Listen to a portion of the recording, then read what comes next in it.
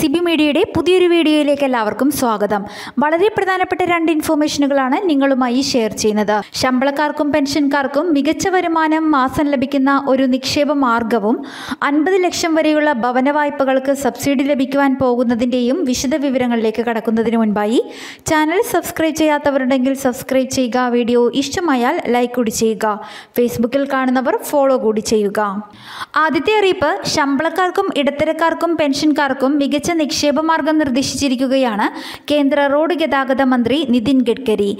എട്ട് പോയിന്റ് അഞ്ച് ശതമാനം പലിശ നിരക്ക് വാഗ്ദാനം ചെയ്യുന്ന N H A I InvIT ബോണ്ടുകളിൽ നിക്ഷേപിക്കുവാനാണ് അദ്ദേഹം നിർദ്ദേശിച്ചിരിക്കുന്നത്. സാധാരണ ബാങ്ക് സ്ഥിര നിക്ഷേപങ്ങളുടെ പലിശയുമായി താരതമ്യം ചെയ്യുമ്പോൾ വളരെ കൂടുതലാണെന്ന് അദ്ദേഹം കൂട്ടിച്ചേർത്തു. അഞ്ച് പോയിന്റ് അഞ്ച് ശതമാനം മുതൽ ഏഴ് പോയിന്റ് അഞ്ച് ശതമാനം വരെയാണ് സാധാരണ സ്ഥിര നിക്ഷേപങ്ങളുടെ പലിശ നിരക്ക്. കേന്ദ്രത്തിന്റെ നാഷണൽ മോണിറ്റൈസേഷൻ പൈപ്പ് ലൈനിനെ പിന്തുണയ്ക്കുന്നതിനായി national highway authority of India അഥവാ N H A I sponsor ചെയ്യുന്ന infrastructure investment ട്രസ്റ്റാണ് N H A I InvIT. ഈ ബോണ്ടുകളുടെ ഏറ്റവും കുറഞ്ഞ നിക്ഷേപ തുക പതിനായിരം രൂപയാണ്. N H A I InvIT ബോണ്ടുകളുടെ പ്രധാന നേട്ടം പലിശ നിക്ഷേപകരുടെ ബാങ്ക് അക്കൗണ്ടിലേക്ക് എല്ലാ മാസവും നേരിട്ട് ലഭിക്കുന്നു എന്നതാണ്. കൂടാതെ ഓരോ പതിനഞ്ച് ദിവസത്തിലും നിക്ഷേപത്തിനായി ബോണ്ടുകൾ തുറന്നിരിക്കും. ഇത് നിക്ഷേപങ്ങളിൽ നിന്ന് സ്ഥിര വരുമാനം തേടുന്ന വ്യക്തികൾക്ക് ലാഭകരമായ അവസരം നൽകുമെന്നും അദ്ദേഹം പറഞ്ഞു.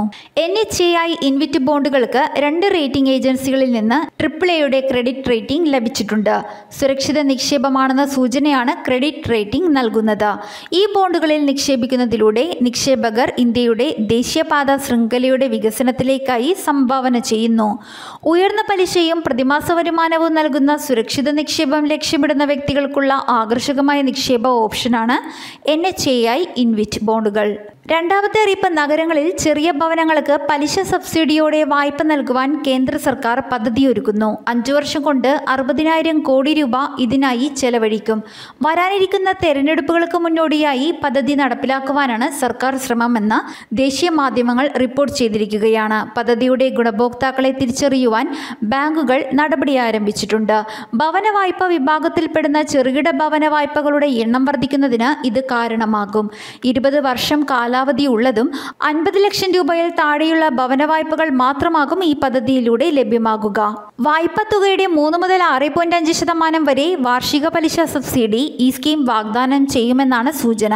പലിശ ധനസഹായം ഗുണഭോക്താക്കളുടെ ഭവന വായ്പ അക്കൗണ്ടിലേക്ക് മുൻകൂറായി ക്രെഡിറ്റ് ചെയ്യപ്പെടും. രണ്ടായിരത്തി ഇരുപത്തിയെട്ട് വരെ നടപ്പിലാക്കുവാൻ ഉദ്ദേശിക്കുന്ന ഈ പദ്ധതി അന്തിമഘട്ടത്തിലാണ്. മന്ത്രിസഭയുടെ അംഗീകാരം ലഭിച്ച ശേഷം ഇത് നടപ്പിലാകും. നഗരപ്രദേശങ്ങളിലെ താഴ്ന്ന വരുമാനക്കാരായ ഇരുപത്തിയഞ്ച് ലക്ഷത്തോളം പേർക്ക് ഈ പദ്ധതി പ്രയോജനപ്പെടുത്താനാവുന്നതാണ്. നഗരങ്ങളിൽ കോളനികളിലോ ചേരികളിലോ താമസിക്കുന്ന കുടുംബങ്ങൾക്ക് സഹായകമാകും. പലിശ സബ്സിഡിയുള്ള വായ്പ നൽകുന്നത് പദ്ധതിക്കകത്ത് നിൽക്കുന്ന വീടുകളുടെ ആവശ്യകതയെ ആശ്രയിച്ചിരിക്കും. പദ്ധതിയുടെ പേര് വെളിപ്പെടുത്തിയിട്ടില്ല. ഭവന നഗര വികസന മന്ത്രാലയത്തിൽ നിന്ന് പദ്ധതിയെക്കുറിച്ച് പ്രതികരണമുണ്ടായിട്ടില്ല. ഈ വർഷം അവസാനം സംസ്ഥാനങ്ങളിലേക്കുള്ള തെരഞ്ഞെടുപ്പും അടുത്ത വർഷം പകുതിയോടെ ലോക്സഭാ തെരഞ്ഞെടുപ്പും നടക്കുവാനിരിക്കുകയാണ്. ഇതിനു മുന്നോടിയായി ഗാർഹിക ആവശ്യത്തിനുള്ള പാചകവാതക വിലയിൽ കേന്ദ്ര സർക്കാർ കുറവ് വരുത്തിയിരുന്നു. വർദ്ധിച്ചുവരുന്ന പണപ്പെരുപ്പം നിയന്ത്രിക്കുവാൻ കൂടിയാണ് കേന്ദ്ര സർക്കാർ നടപടി സ്വീകരിച്ചത്. ഇതിന് പിന്നാലെയാണ് നഗരങ്ങളിൽ ചെറുകിട വീടുകൾ നിർമ്മിക്കുവാൻ പലിശ സബ്സിഡിയോടെ വായ്പ നൽകുവാൻ ഒരുങ്ങുന്നത്. കഴിഞ്ഞ മാസം സ്വാതന്ത്ര്യദിനത്തോടനുബന്ധിച്ച് നടത്തിയ പ്രസംഗത്തിൽ പ്രധാനമന്ത്രി നരേന്ദ്രമോദി പദ്ധതിയെക്കുറിച്ച് സൂചിപ്പിച്ചിരുന്നു. നഗരങ്ങളിൽ താമസിക്കുന്നവരും എന്നാൽ വാടക വീടുകളിലോ ചേരികളിലോ കോളനികളിലോ താമസിക്കുന്ന കുടുംബങ്ങൾക്ക് പ്രയോജനം ചെയ്യുന്ന പുതിയ പദ്ധതി കൊണ്ടുവരുമെന്നാണ് മോദി പറഞ്ഞത്. നഗരങ്ങളിലെ താഴ്ന്ന വരുമാനക്കാരായ വായ്പക്കാർക്ക് സർക്കാർ നേരത്തെയും പലിശ സബ്സിഡി വാഗ്ദാനം ചെയ്തിരുന്നു. രണ്ടായിരത്തി പതിനേഴ് ഇരുപത്തിരണ്ട് കാലയളവിൽ പന്ത്രണ്ട് ദശലക്ഷത്തിലധികം വീടുകൾ സബ്സിഡിയിലൂടെ അനുവദിച്ചിരുന്നു. ഈ പദ്ധതിയെക്കുറിച്ചുള്ള കൂടുതൽ അപ്ഡേറ്റുകൾ വരുമ്പോൾ തന്നെ നിങ്ങളുമായി ഷെയർ ചെയ്യുന്നതാണ്. മറ്റുള്ളവർക്കും ഈ ഇൻഫോർമേഷൻ ഷെയർ ചെയ്ത് നൽകുക. മറ്റൊരു വീഡിയോയുമായി വീണ്ടും കാണാം.